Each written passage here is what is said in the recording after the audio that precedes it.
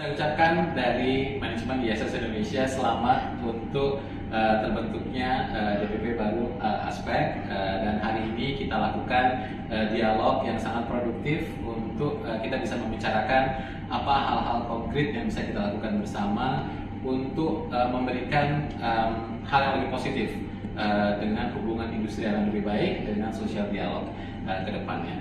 Uh, terima kasih untuk aspek. Hari ini kami sangat senang sekali bisa diskusi panjang lebar mengenai kondisi industrial yang ada di ISS.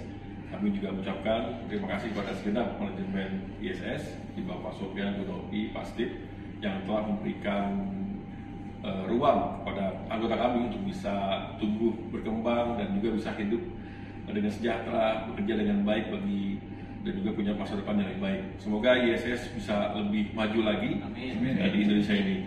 Sukses buat ISS, plus buat ISS.